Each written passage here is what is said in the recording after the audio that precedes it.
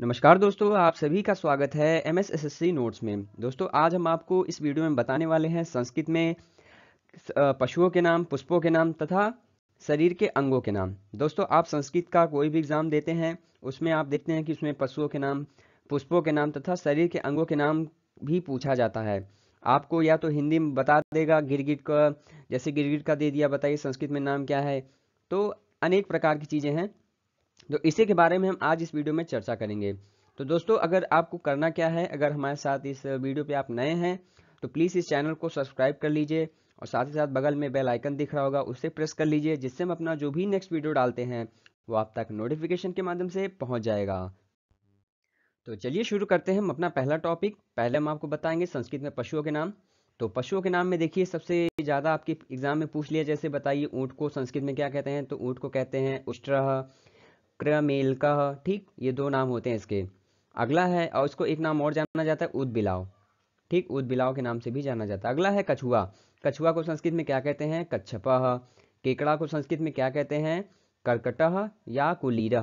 दो नाम है इसके केकड़ा के। अगला कुत्ता। कुत्ता को क्या कहते हैं दोस्तों? संस्कृत में स्वान, कुकुर और कौलेक ये होते हैं। और एक होता है सारमेय। चार नाम है इसके। अगला है कुतिया। कुतिया को देखिए संस्कृत में क्या कहा जाता है? शर्मा सुनी। दो नाम है इसके। अगला, कंगारू। कंगारू क्या कहा जाएगा? कंगारू। इसका आसान, इसमें सिर्फ़ आह की मात्रा लग जाएगी। अगला है कन खजूरा कन खजूरा का संस्कृत नाम क्या होता है? कर्ण जलोका कर्ण जलोका ये कन खजूरा का संस्कृत नाम है। नेक्स्ट है खरगोश। खरगोश को संस्कृत में क्या कहते हैं? शशक। याद रखिएगा इसको। अगला गाय। गाय को संस्कृत में क्या कहते हैं? गो और धेनु। ये क्या है? संस्कृत नाम है। अगला गेंडा। गेंडा को क्या कहते हैं? खडगी। खडगी जो होता है ये गेंडा का संस्कृत रूप है। अगला गीदड़। गीदड़ यानी सियार। सियार को संस्कृत में कहा जाता है श्रीगाल या गोमायु। श्रीगाल या गोमायु। ठीक? अगला गिलहरी। गिलहरी क्या है? गिलहरी को क्या कहते हैं? चिक्रोडा। ठीक? नेक्स्ट है गिरगिट। अब देखिए गिरगिट को क्या कहते हैं? गिरगिट को कहते हैं क्रिकलाश। ओके? क्रिकलास जो होता है ग्रिड का संस्कृत नाम है। अगला है दोस्तों और आप लोग को करना क्या है पूरा आप इस वीडियो को शुरू से लास्ट तक देखिएगा क्योंकि इन्हीं में से ही क्वेश्चन बनेंगे। इसके बाहर के आप इस संस्कृत से अगर पूछा गया नाम तो बहुत मुश्किल है। आप अगर इतना याद कर लेते हो आपके लिए बहुत हो जाएगा। इसलिए आप इस, इतने सारे जो है नाम याद कर लीजिएगा संस्कृत के। देखिए अब अगला है बिल्ली। बिल्ली को क्या कहा जाता है? मारजारह या बिडालह। अगला भालू। भालू का होता है भल्लू का ठीक इसका संस्कृत नाम भल्लू का होता है। तीसरा भैंस। भैंस को संस्कृत में क्या कहते हैं? महिषी। भैंसा का, भैंसा को महिष। ठीक, महिषा क्या होता है? भैंसा का। अगला भेड़िया। भेड़िया का क्या होता है? वृका। इसका संस्कृत नाम वृका होता है। फिर तीसरा है भेड़। अगला है भेड़। देखिए, भेड़ को क्या कहते हैं? मेष। मेष जो होता है, ये भेड़ का संस्कृत रूप है। अगला मकड़ी। मकड़ी को संस्कृत में क्या कहते हैं? उड़नाभ। उड़नाभ मकड़ी का है और होता है तंतुनाभ। तुला।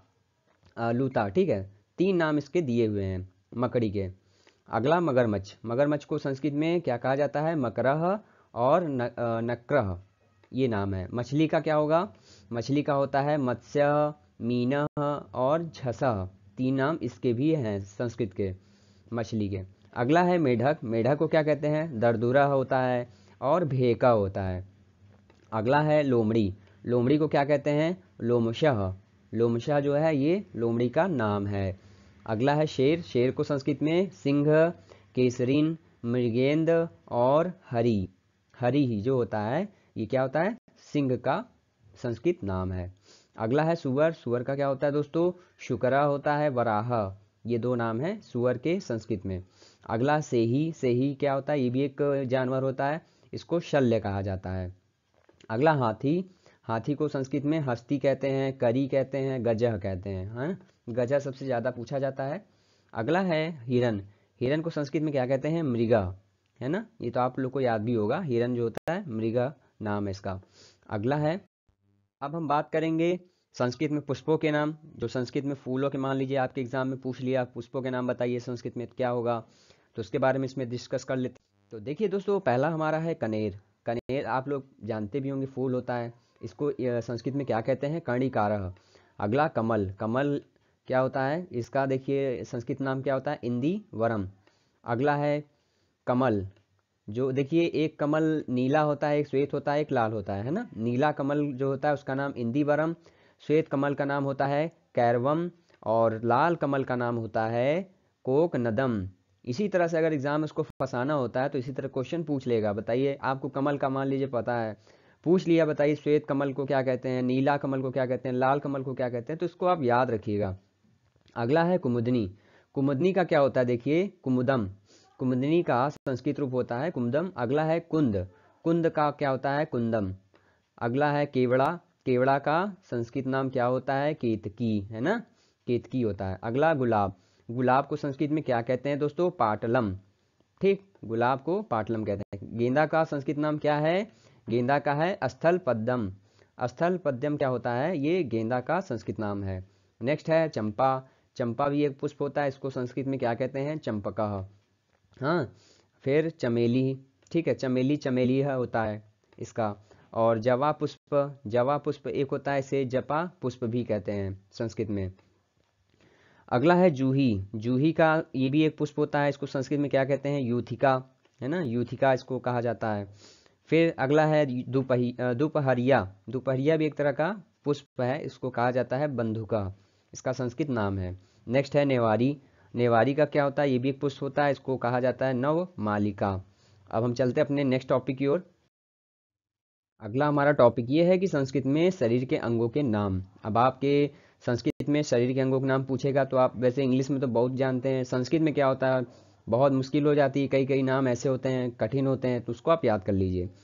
बाल को जैसे संस्कृत में क्या कहा जाता है? केशा, मांग। मांग क्या है? इसको क्या कहते हैं? सीमंतम। नेक्स्ट है सफ़ेद बाल। सफ़ेद बाल को क्या कहते हैं? पलित केशा। पलित केशा जो होता है श्वेत बाल का नाम है। नेक्स्ट है मस्तक। मस्तक का संस्कृत नाम ललाटम होता है।